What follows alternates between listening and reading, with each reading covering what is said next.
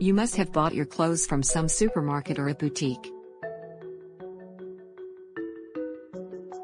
But, have you ever wondered as to why do we need these clothes?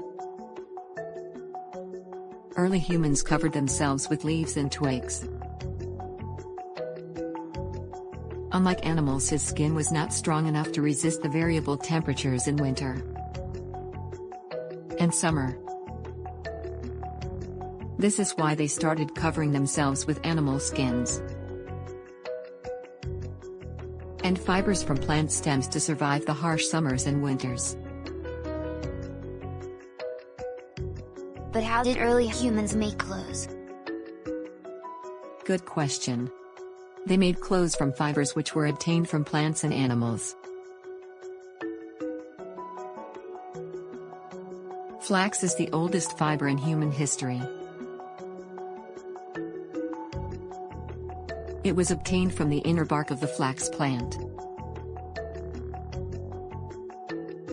Through spinning and weaving, flax fiber was converted into the linen fabric. A fabric which was very popular in ancient Egypt and Mesopotamia. The idea of obtaining wool from the sheep came much later but still it is one of the oldest fibers.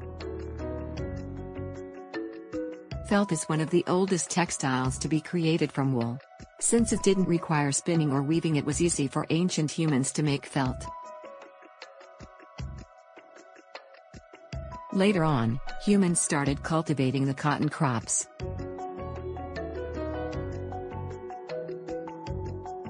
Indus Valley Civilization is one of the oldest civilizations to cultivate cotton. The fabric was worn as a drapes and stitching had not yet been invented.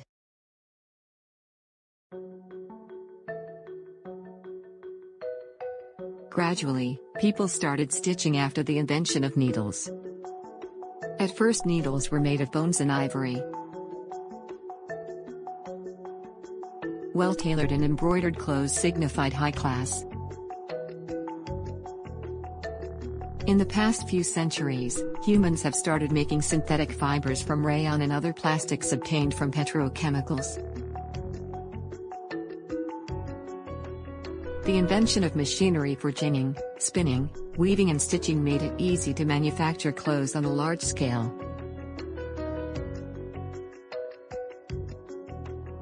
Powerloom was invented in the 1700s.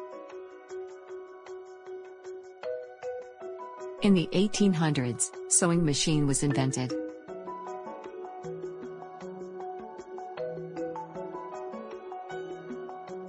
The fashion has been going through a constant evolution since centuries, however, the purpose of clothing is still the same.